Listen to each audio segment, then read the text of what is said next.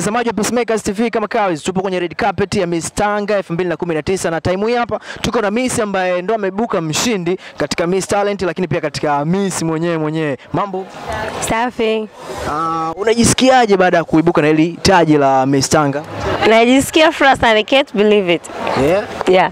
Sawa, na we ni Miss pekee ambaye una vipaji vingi sana. Vipi vipaji vyako unaviendeleza vipi sasa baada ya kushinda Miss Tanga?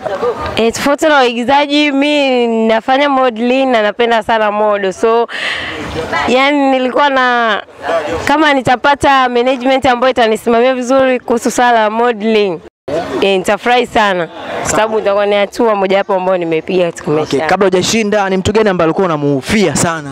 Hakuna mtu ninayemhofia. Yeah. Yeah. Sawa, hongera sana. Thank you. Ah, ni kitu gani ambacho nataka kuambia labda watu ambao wamekuja leo ku- ku- kushangilia baada ya ushindi wako huku upata? Nawapenda sana yeah, yeah. sababu wamepoteza muda wao kuja hapa kutuangalia sisi, hatimaye wamepatikana mshindi, so nawapenda sana na pia nawapa moyo marafiki wenzangu ambao wameshindwa. Katika maisha kuna kupanda na kushuka, kwa wasikate tamaa. Hii ni moja ya changamoto. Sawa, asante kwa timu yako. Thank you. Wajua wa Peacemakers TV kama kawaida, na hii ni red carpet ya Miss Tanga 2019 na tayari mshindi ameshaibuka.